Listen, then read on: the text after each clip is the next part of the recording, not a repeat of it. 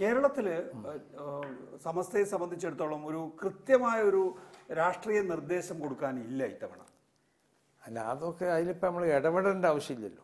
നമ്മൾ അതിലൊന്നും ഇടപെടേണ്ട ആവശ്യമില്ല. സമസ്തയുടെ അനുയായികൾക്ക് ഏത് മുന്നണിക്ക് വോട്ട് ചെയ്യണം എന്നൊരു പ്രത്യേക അങ്ങനെ ഇല്ല അങ്ങനെയൊന്നും പ്രത്യേകമായിട്ട് നമ്മൾ ഒരു ഇതുവരെ അങ്ങനെ ഇല്ല.